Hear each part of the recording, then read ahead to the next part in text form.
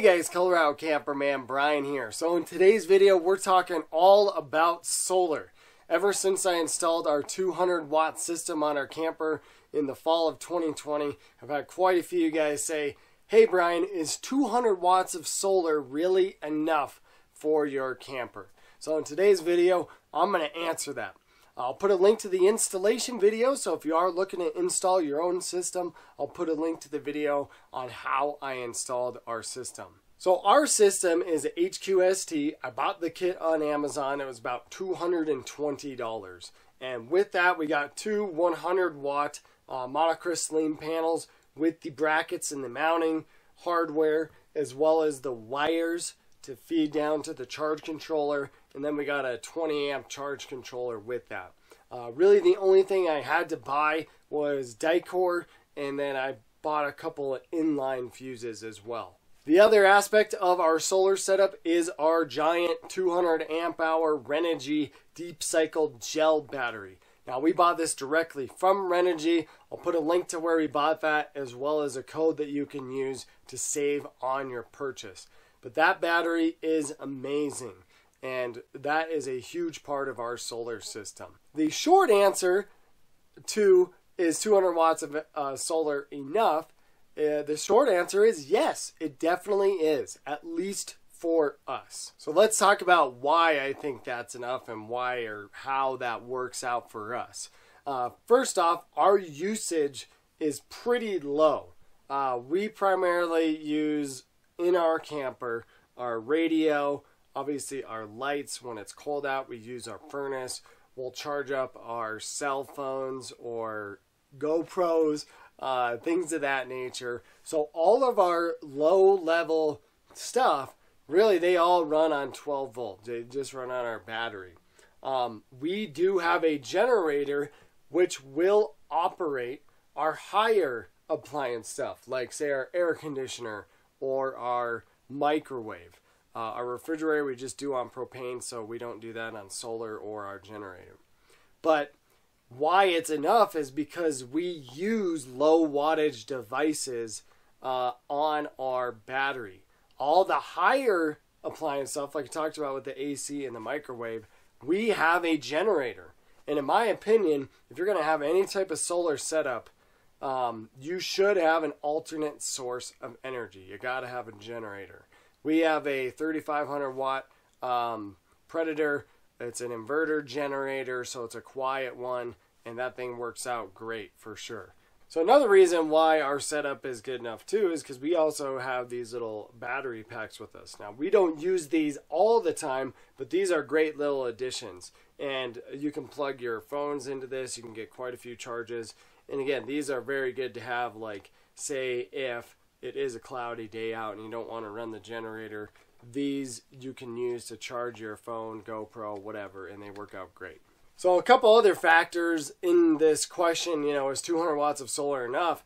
Um, yes, it is if you're getting sunlight. You know, if it's a cloudy day out, you're not really going to be able to do too much and you're going to have to rely on your battery, which is another huge factor. Um, you have to have a pretty decent size uh, battery that's meant just for solar and that has a, a large amp hour storage um, in order to have a really good solar setup. And then obviously it is going to depend on your usage. For us, this works out perfect because we don't run a lot of heavy appliances and we have our generator when we need to run the higher appliance stuff. Um, if we didn't need to run our AC or our microwave, frankly, we would have no use for a generator, and in my opinion, we wouldn't really even need one. So some of you guys might be wondering, well, what exactly did you do on your trip, and how do you use your your 200 watts? For our trip, again, during the daytime, we can pretty much do whatever we want. Uh, for example, we could have our tank heater pads on. Uh, we could have those on while charging our cell phones and listening to music on a radio, and we would be fine. We would not be discharging our battery at nighttime, you know, we're taking our son uh, takes a bath, so we're running our, our water pump. We have lights on. Uh, it got down to 23 degrees on this trip, so our furnace was kicking on. Um, and then we had a baby monitor. So we had some pretty heavy usage on our system. And our battery, when we uh, first started doing all this stuff, was at 13.8 volts. And uh, in the morning time, we were down to 12.4 volts. We still had plenty of energy, um, and that was after very heavy usage. What's awesome about even just 200 watts, we went from 12.4 volts uh, in the morning time, and then probably three hours later, we were back up to 13.8 volts on our battery. So one thing that's really great that you can do if you're wondering if 200 watts is going to be enough for you is go to Renogy's site.